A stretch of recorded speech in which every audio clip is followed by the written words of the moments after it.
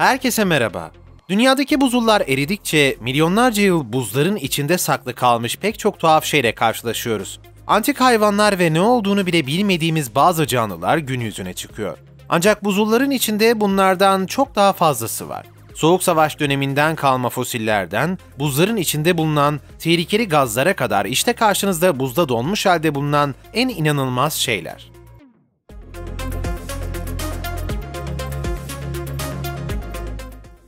Gizemli bir şekilde akan göller. NASA, Antarktika buzunun altında gölleri boşaltan gizemli bir sistem keşfetti. Kıtanın en güneyindeki buzun altında 1,9 ila 4 kilometre arasında iki yeni soğuk su gölü bulundu. Gerçekten garip olan şey bu yeraltı göllerinin bir döngüde tekrar tekrar doldurulup boşalmasıdır. Ki bilim insanları bu döngünün eriyik suyun Güney Okyanusu'na akmasını etkileyebileceğini söylüyor. Ve tabii ki buzdan eriyen suyun akışı Güney Okyanusu'ndaki akıntıları ve dünyadaki sıcaklıkları etkileyen bir şeydir. Göller, buzun Antarktika kıtasının kayalık kısmına değdiği buz tabakasının en altında bulunuyor. Bilim adamları göllerin basınç, sürtünme ve hatta belki de aşağıdan gelen jeotermal ısı sonucu oluştuğuna inanıyor.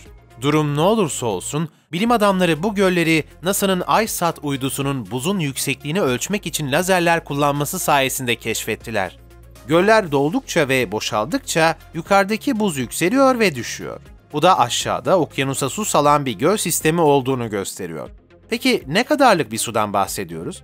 Ocak ayında bilim insanları Doğu Antarktika'daki Emery buz rafının altında bulunan bu göllerden birinin sadece 3 gün içinde okyanusa yaklaşık 750 milyar litre aktığını keşfettiler. Aslında soğuk hava akımları dünya çapında hareket ederken sıcaklıktaki mevsimsel düşüşleri etkileyen kritik bir sistemdir. Milyarlarca galonluk korkunç soğuk suyun neden buzun altından okyanusa döküldüğünü keşfetmekse dünyamızın tüm hava sistemlerinin nasıl birbirleriyle bağlantılı olduğunu anlamanın anahtarıdır. Ultra Hot Süper İyonik Buz Bilim adamları buzla ilgili büyüleyici yeni bir keşif yaptılar ve bu keşfi Ultra Hot Süper İyonik Buz olarak adlandırıyorlar. Ve bu daha önce hiç görünmemiş, yeni ve gizemli bir su evresi gibi görünüyor.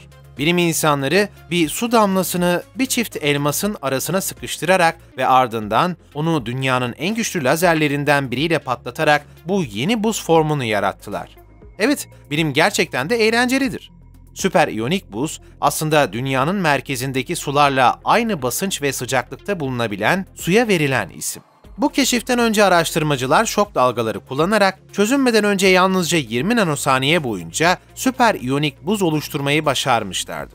Ancak bu keşifte elmasların arasına bir su damlacığı sıkıştırarak ve ardından onu lazerle patlatarak buzu inceleyecek kadar kararlı hale getirmeyi başardılar.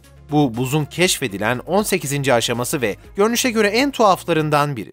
Oksijen atomları normalde su donduğunda kilitlenirler ancak hidrojen atomları elektronlarından vazgeçip iyon haline gelir, sıvı gibi serbest akar. Bunun anlamı ultra hot süper iyonik buzun aynı anda hem katı hem de sıvı olmasıdır. Yani şöyle düşünebilirsiniz. İçinde akan hidrojen atomları olan bir buz küpü. Oldukça inanılmaz değil mi? Tehlikeli gazlar Kuzey kutbundaki yükselen sıcaklıklar çevrede değişikliklere neden oluyor. Örneğin Orta Alaska'da Tanana Nehri boyunca bulunan Kara Ladin ormanlarında ağaçlar devriliyor ve yavaş yavaş bir bataklık tarafından emiliyor. Öyle ki bir zamanlar zeminin buzla kaplı olduğu yerde bugün daha çok yağmur ve eriyen karlardan oluşan bir bataklık bulunuyor. Dünyanın giderek ısındığını ve kuzeydeki permafrostun çözüldüğünü inkar etmekse mümkün değil. Bir diğer yandan tüm bu eriyen permafrosttan gelecek en korkunç şeylerden biri sera gazlarındaki artış olsa gerek. Alaska bilim adamı Merit Turetsky ve ekibi tarafından yakın zamanda yapılan bir araştırmaya göre buzun altında düşünülenden çok daha fazla gaz bulunuyor. Ve son yıllarda da buzlar eridikçe atmosfere büyük gaz patlamaları salındığı da doğrulandı. Bu ani çözülme olarak bilinen bir süreçtir ve buzdan salınan gazlar tüm bu gazın ilk etapta salınmasına neden olan soruna büyük ölçüde katkıda bulunur. Yine de buzun altında bulunan gazlar insanların kömür yakarak ve başka emisyonlar yaratarak yaptıkları kadar büyük bir etkiye sahip değil. Bununla birlikte permafrostun çözülmesinin insanların neden olduğu iklim değişikliğini arttırması da bekleniyor. National Geographic'in yakın tarihli bir raporuna göre buzun altındaki gaz yüzünden etkiler yaklaşık %20 oranında artacak.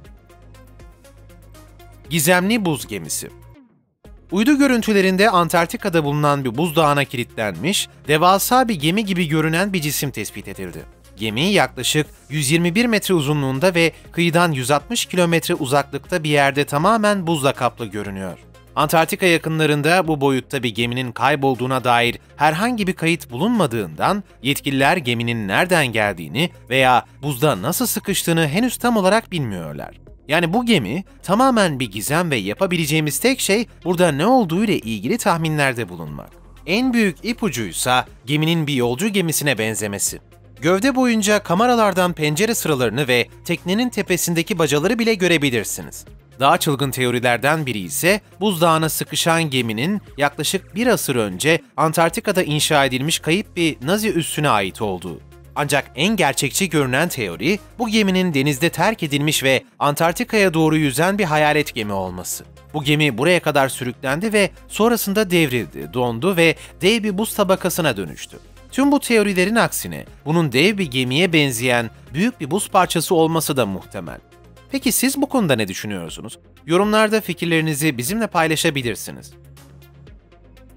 Dondurulmuş Brezilya yatı Sonsuz deniz olarak tercüme edilen Marsen film, sağlam bir buz bloğunda donmuş bir Brezilya yatıdır. 7 Nisan 2012'de gemi Maxwell Körfezi'nde parçalandı. Peki bu nasıl mı oldu? Ünlü Brezilyalı gazeteci ve girişimci João Lara Mesquita'ya ait olan yat, Antarktika kıyıları açıklarında bir belgesel çeken dört ekip tarafından yönetiliyordu ve tekne, tahminen dalgalarla birlikte saatte 74 kilometreyi aşan kuvvetli rüzgarlar tarafından vuruldu ve alabora oldu. Araştırmacıların hepsi donarak ölmemek için telsizlere koştular ve şans eseri bölgede bir Şili donanması üssü bulunuyordu. Yat hakkında yapılabilecek hiçbir şey olmamasına rağmen araştırmacılar kurtarıldı ve yat da battı. Ancak fazla uzaklaşmadı. Öyle ki tekne su donmadan önce yaklaşık 9.1 metre derinliğe indi, gövdesi ikiye bölündü ve buzda sıkışıp kaldı. Aslında yat yukarıdan bakıldığında açık bir şekilde görülebiliyordu ki bu da yatın yüzeyin altında hapsolmuşçasına ürkütücü bir görüntü oluşturmasına sebep oldu. Yat sahibi buzun çözülmesi için tam 10 ay bekledi ve sonunda tekneyi kurtarmak için bir girişimde bulundu. Yine de yat, buzun altında fazla zaman geçirdiği için gövde hasarı tamir edilemeyecek kadar büyüktü. Gemi kıyıya çıkarıldığında tamamen tamir edilemez haldeydi. Topraktaki at DNA'sı Yaklaşık 10 yıl önce Kanada'nın Yukon'daki Klondike bölgesinden kalın bir permafrost tabakasının altından çıkarılan toprak örnekleri alındı. Ancak örneklere herhangi bir bilimsel analiz yapılmadı ve bunun yerine örnekler McMaster Üniversitesi'ndeki bir dondurucuda bekletildi. Birkaç ay önce ise araştırmacılar doğmuş toprak örneklerini çıkarmaya ve analiz yapmaya karar verdiler.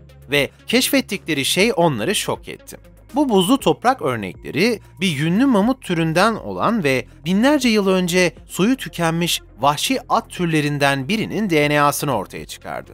Hayvan DNA'sının toprakta nasıl bulunabileceğini anlamadıysanız bunun sebebi muhtemelen düşündüğünüz DNA'nın bahsettiğimizde aynı olmamasıdır. Bu DNA çeşitli hayvanların belirli bir ortamda hareket ederken geride bıraktığı mikroskobik kalıntılardan oluşur ve çevresel DNA olarak adlandırılır. Bilim adamları bu örnekleri incelediler ve buz devrindeki hayvanların soyları tükenmeden önce hayal ettiğimizden çok daha uzun yaşadığını öğrendiler. Araştırmacıları ve hatta dünya çapındaki bilim adamlarını gerçekten şok eden şey ise örneklerde bulunan DNA'nın 5000 yıl öncesine ait olmasıydı. Bu Kuzey Amerika atlarının ataları olan yünlü mamutların ve buz devri atlarının insanlarla birlikte Kanada'da hala hayatta olduğu anlamına geliyordu. Yani bu canlılar bilim adamlarının düşündüklerinden tam 8000 yıl daha uzun yaşadılar. Soğuk Savaş Fosilleri Soğuk Savaş sırasında Amerika Birleşik Devletleri Iceworm projesinin bir parçası olarak Kuzeybatı Grönland'in bir bölümünü kazmakla meşguldü. 1966'da yapılan bu proje Grönland buz tabakasının altında Sovyetler Birliği'nin nükleer savaş başlıklarıyla vurabilecek bir nükleer üs oluşturmak için gizli bir görevdi. Hatta proje onlarca yıl sonrasına kadar çok gizli tutuldu ve hala Amerika Birleşik Devletleri'nin bu kadar olağan dışı bir şey denediğine inanmak zor. Çünkü yer altında bir buz üssü oluşturmak gerçek bir Amerika Birleşik Devletleri askeri projesinden çok bir casus saldırısı planına benziyor. Ancak görevin başarısızlıkla sonuçlandığını unutmayalım. Bu başarısız görevin ardından Camp Century üssü terk edildi. Ayrıca üstle beraber yıllar sonra bilim adamları tarafından bulunan buz çekirdeği örnekleri de terk edilmiş oldu. Öyle ki Amerika Birleşik Devletleri o zamanlarda sıkıcı eski buz çekirdeklerini umursamamıştı. Bu yüzden örnekler Danimarka'ya götürülüp dolduruldu ve onlarca yıl görmezden gelindi. 2019 yılında bir grup bilim insanı Soğuk Savaş zamanından kalma bu örnekleri araştırmaya başladı ve son derece büyüleyici bir sonuca vardı. Bilim adamları milyonlarca yıl önce çiçek açan yaşam formlarını yani fosilleşmiş bitki parçalarını buldular. Ve daha da önemlisi bu bitkiler Grönland'in o kadar uzun süre buzla kaplı olmadığını kanıtlıyordu. Şimdiye kadar Grönland'in 3 milyon yıldır buzla kaplı olduğuna inanılıyordu. Ancak keşfe göre durum hiç de böyle değildi. Fosilleşmiş bitkiler Grönland'de tundra benzeri önemli bir iklim olduğunu kanıtladılar. Sonuç olarak günümüzde Grönland'in yaklaşık son 2,6 milyon yılın herhangi bir noktasında dev buz tabakasını kaybettiğine, bir tundraya geçtiğine ve sonunda buzu geri kazandığına inanılıyor. Buzda mahsur kalan keşif gemisi 2014 yılında bir Antarktika keşif gemisi buzda mahsur kaldı. MV Akademik Şokalski'deki Avustralasya Antarktika seferi üyeleri Noel'de 10 gün boyunca burada mahsur kaldılar ve bölgeye Çin'den bir buz kıran çağrılması gerekiyordu. Başlangıçta Fransa'dan bir buz kıran çağrıldı ancak buzun kalınlığı sebebiyle araç geri çekilmek zorunda kaldı ve geminin çıkmasına yardım edemedi. Keşif gezisinin 52 üyesi bir süre sonra bir helikopter ekibi tarafından kurtarıldı. Bu olayın nasıl yaşandığına gelecek olursak gemi sıkıştığında temiz sulardan Hodgman adaları adı verilen küçük bir kayalık ada kümesine doğru yol almaya çalışıyordu. Ancak berrak su aniden dondu. Buz bir anda ortaya çıktı ve yapılacak hiçbir şey yoktu. Buz kalındı ve birikmeye devam etti. Birkaç gün sonra ise açık su artık 2 deniz mili değil tam 20 deniz mili ilerideydi. Bu durum Antarktika'daki buzun ne kadar hızlı oluştuğunu kanıtlıyor. Gemi adeta hızla büyüyen bir buzdağına sıkışmış haldeydi. Sonunda uluslararası yardım sayesinde gemi kurtarıldı.